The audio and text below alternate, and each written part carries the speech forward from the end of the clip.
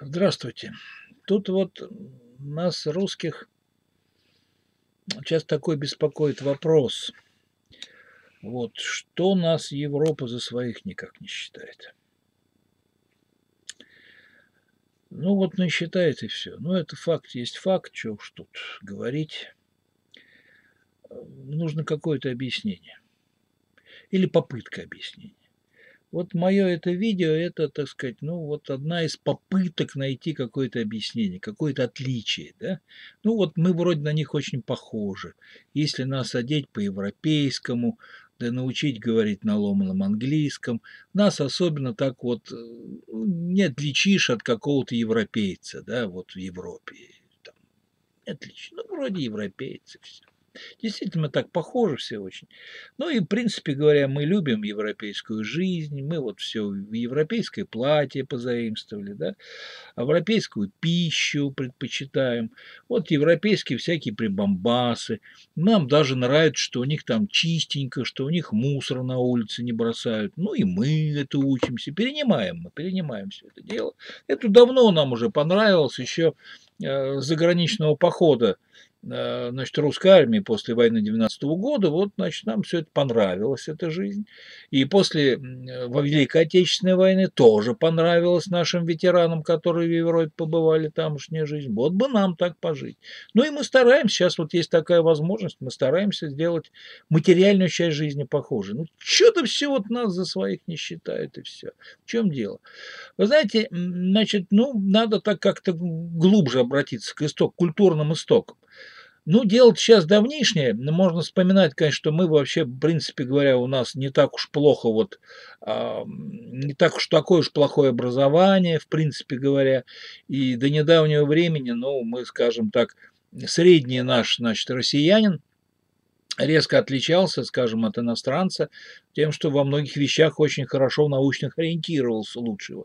Ну, сейчас-то да, уже сейчас появились отрицатели посадки на Луну, ковид-диссиденты, что там еще-то, ну, кого только тут нету, да, а эти же, господи, как там они называются-то, а, плоская земля, плоская земля завелась, вот, ну, это вот, ну, в старое время такого, конечно, быть не могло.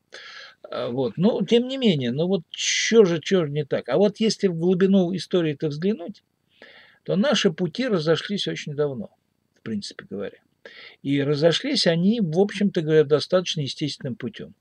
Вот помните, э, у нас есть такой вот полулегендарная историческая история, как князь Владимир Красносолнышко выбирает веру. И в частности, ему нужно сделать выбор между католической версией и православной версии значит, христианства. И он делает в пользу православной версии выбор. Значит, ну, в чем дело? Ну, конечно, вот на, на, на, предание очень трудно значит, ссылаться, но давайте так посмотрим, чем, по большому счету, католичество отличается от, э, христи... от православия. Ну, там догматические разницы, это, ну, я думаю, что князю Владимиру не так были важны на тот момент. Он, ну, что он, теолог был какой-то, что ли? Ну, что ему там выборы такие делать? Делать не в этом. Вот смотрите, как устроена жизнь была а, в средневековой Европе. Особенно до времен их церковного раскола, который у них называется реформацией.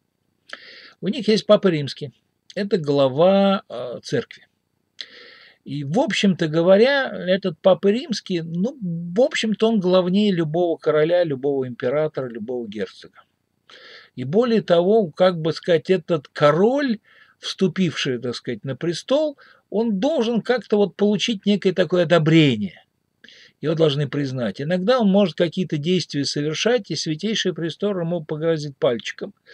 А если он будет продолжать, он его и может, так сказать, э, высказать свое фа, отлучив его от церкви, ну, в общем-то говоря, сделав его врагом Э, христианства, да? Понимаете, в чем дело? Получалось, что есть некое, так сказать, ну, понятно, что там много дел ужасных творилось в Европе, у нас это вспоминают, там Варфоломеевские ночи и все что угодно. Ну, все правильно, правильно, правильно все они говорят, все такие вещи были, были. Но и часто это творила католическая церковь в том числе. Но дело-то в том, что, тем не менее, вот простой человек, будь то это, э, значит, э, ну, простой крестьянин, там, горожанин, какой-нибудь ремесленник, а, дворянин или даже король, он понимал, что есть некая э, истина, которая выше его, есть некая справедливость, которая выше его, потому что не он это определяет.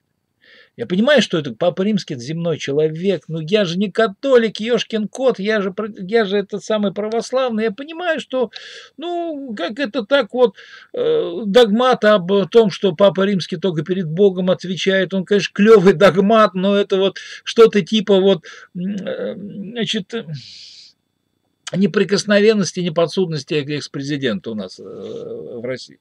Ну, это примерно такого же уровня догмат. Ну, пожалуйста, конечно, все, все, все понимаем. Но это только вот там верхушка. А все остальные вот ходят под ним. Фактически, он якобы выразитель воли, воли Бога.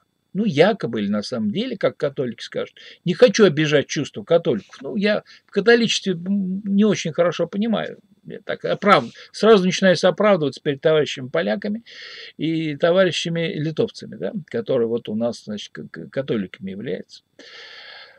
Вот, ну, короче говоря, вот есть Божий суд, наследники разврата, он не подкупен звону злата. Это стихи, кстати говоря, значит, Лермонтова. А Лермонтов, он в каком-то плане был таким, знаете, диссидентом в нашей стране. Ну да, он православный был, конечно. Но вот эта мысль, ну, у нас очень строго было с религиозной цензурой. Я пример приведу. Помните, такое стихотворение есть у Лермонтова? «Выхожу один я на дорогу, э, вижу, как кремнистый путь э, блестит, как э, пустыне внемлет Богу, как звезда звездой говорит. И вот это стихотворение было религиозной цензурой запрещено. Почему? Потому что там узрели некий такой пересказ э, э, отмененного уже на тот момент катехизиса. Там что-то типа было такое вот, э, ну вот как-то, ну, что-то в этом роде, да, я не хочу перевирать лишний раз, но вот это, вот это им, им очень это не, не понравилось. Видите, прикрыли. А у него, видите, интересная мысль была в другом стихотворении-то, что э, Божий суд есть, наследники разврата, он не подкупен звону злата. Ну, в принципе-то говоря, так-то оно так, но в практической жизни, вот проявление Божьего суда, а как оно могло быть в практической жизни нашего человека? Значит, вот мы теперь возвращаемся к моменту, почему Владимир Красносолнышко предпочел а, веру принять э, восточное христианство, православие. Дело в том, что в восточном православии религия подчинена была государству. Очень, так, по-моему, были, были моменты, когда в Византии главой церкви был император – вот. А в России, значит, был патриарх главой нашей церкви, но ситуация там была такая, что если уж очень сильно значит, светской власти он не нравится, то патриарха можно и удавить.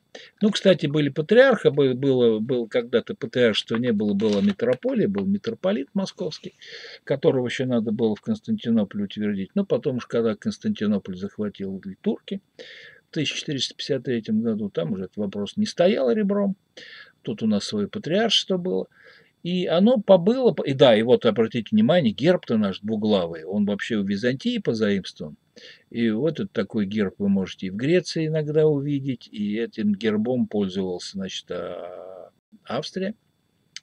Помните, во время Первой мировой войны две, две страны воевали с двуглавыми гербами друг против друга. Российская империя и Австро-Венгрия. Вот. И э, оно обозначает единство души и тела. Светская власть и церковная власть. И вот у нас вот, принципе, вот такое вот разделение властей, но формально как бы предусматривалось.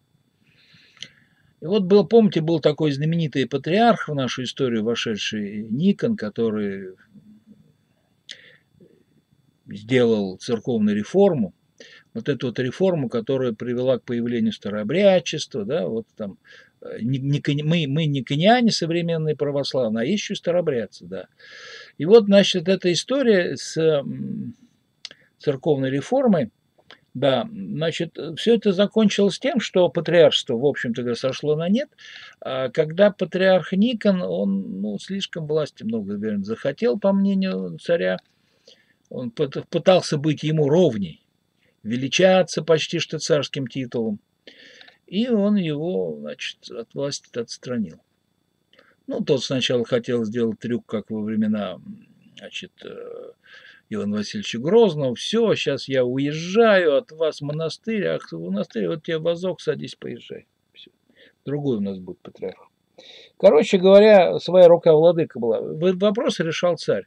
А уже сын Алексея Михайловича, Петр Алексеевич, Петр I, он вообще у нас отменил патриаршество на Руси.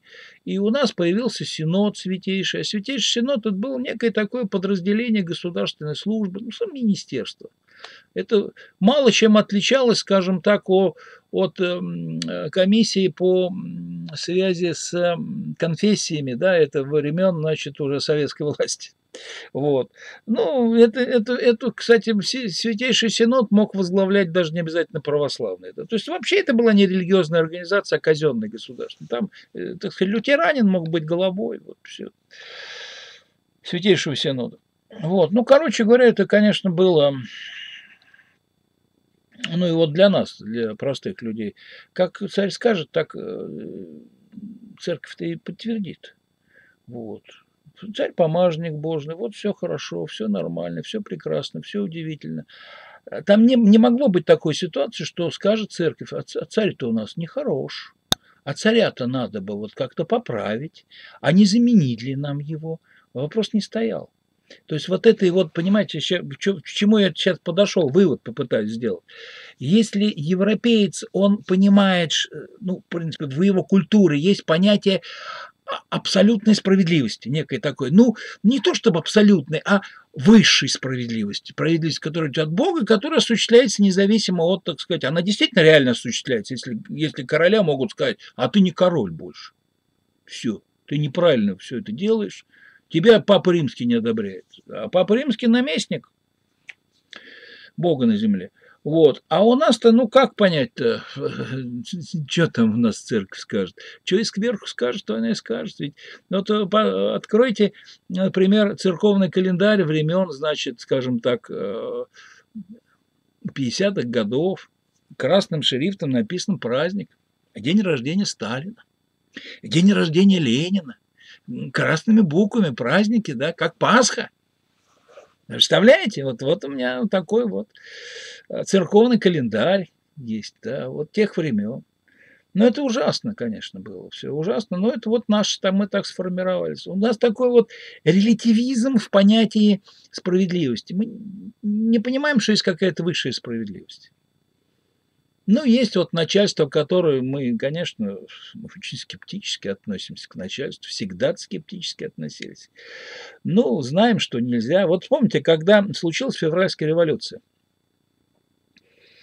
когда царь отрекся от престола, и вот просто вот подшивка журналов каких-нибудь там изданий, все было верноподническое, замечательное, все прекрасно. Вот следующий номер уже после отречения. Наконец-то пало ненавистное, э, значит, трехсотлетнее самодержавие, которое нас тиранило, угнетало. Все. А тут прям вот все благостно было. Все сразу вот поменялось, как сразу поменялось и все. А до этого все это говорилось, все нормально. Трехсотлетнее самодержавие наконец-то пало. Оно нас тиранило. И, и церковь, в общем-то говоря, с восторгом патриаршество восстановила. Это тоже, оно, оно кажется, его тиранило тоже. Вот. Ну, ну, вот понимаете, какая штука-то. Вот. Уже можно было не молиться за царя, да, да, там, вот там.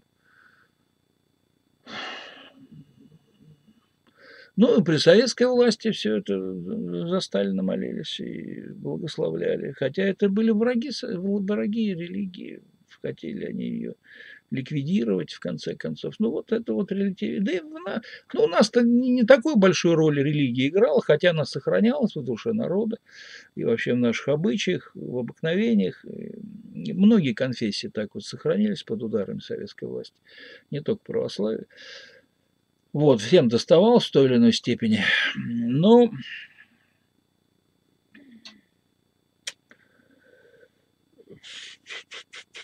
тоже ведь как ведь, э, очень напоминает 91 год, как, как монархия пала. Отрекся царь престол, все, никто не побежал, царь-батюшка, давай оставайся на месте под, под ручки.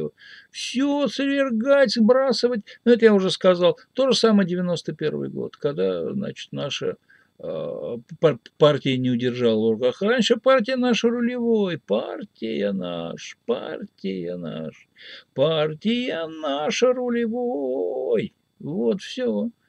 И другого не было. Везде вот э, день рождения Владимира Ильича Ленина, ля-ля-ля, тополя. И куда все пропало? Да. Вот это вот такой вот моральный релятивизм, это так, наверное, называется. Вот мы вот этим моральным релятивизмом очень сильно отличаемся, возможно, от всех а, прочих э, людей, которые себя называют европейцами. Мы европеоиды, ну, конечно, вот, ну, вот такая у нас такая у нас судьба интересная моральный релятивизм.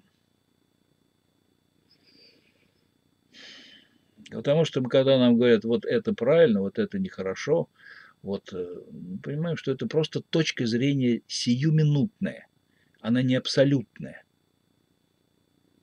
И она, вот, вот это вот есть Божий суд, он не подкупен звону злата, это, это, это почти диссидентские слова были в православной России. Почти какой такой вот. Как это так? Вон царь сказал, вот так и будет. Это хорошо, это плохо. Все. Все вышли вон, пошли, перекрестили лбы пошли, куда вас послали. Вот у нас православная страна, православными торгуем. да? Прикинь, как здорово. Православные рабы ими торговали, пожалуйста, на базаре. Вот, господа, товарищи, друзья, я вас очень всех уважаю. И я прошу вас, чтобы вы мне помогли. Помогли не только лайками, репостами и комментами, но помогли бы вы мне деньгами. Я живу на ваше подаяние, я этого не скрываю. Дело в том, что сейчас в эпоху ковида, вот этого самого вот этой напасти, я не имею возможности преподавать. Дело в том, что так был организован подходе, потому что тоже веры в высшую справедливость-то нет, что в сентябре речь пошла о том, что будем преподавать очно. А, причем, значит, всем лицам, значит, старше определенного возраста сказали, напишите расписку, что вы согласны. Мы говорим, ну, не согласны. То есть я, по крайней мере. Ну, значит, все, не работайте. Все. А потом, конечно, сразу все ушли на, на, на, на, на, на, на дистанс, но уже без нас. Вот такие дела. Ну, это, конечно, да, так сказать, так, так устроен подлючий мир, но ничего не поделаешь. Вот, вот такой вот у нас релятивизм, да, мы не верим в высшую какую-то справедливость, то есть мы на себе не испытывали, да, вот, нет такого папы римского, который придет, наведет высшую справедливость. Напиши президенту, а он письмо оттуда пойдет к твоему же обидчику, разберитесь. И он скажет, да все нормально, факты не подтвердились, все. Вот такой порядок. Ну, спасибо вам. Жду от вас денег. У меня есть внизу номер Сбербанковской карточки, номер счета в Сбербанке. Он указан для того, чтобы вы могли своему банку поручить регулярно посылать мне денег. Я вот прошу об этом всегда, но почти не верю в то, что это до чего-то сердце дойдет. Вот PayPal есть, это для иностранных моих э, друзей и спонсоров. Яндекс деньги, Киви, кошелек, кошелек ВКонтакте. Когда-то я их завел по просьбе зрителей, ну, мало кто им пользуется, почти никто. Ну, очень, очень редко. Вот. И есть еще э, Donation Alerts. Это такая действующая эффективная система. Она из-за границы работает, и изнутри страны. И есть еще кнопочка спонсорства на э, титульном листе моего канала в, э, на YouTube. Так что вот вы можете нажать, стать моими спонсорами, вот дальше как что-то такое-то. Есть несколько разных уровней спонсорства. Спасибо вам большое. Я с нетерпением жду ваших денег. Пока.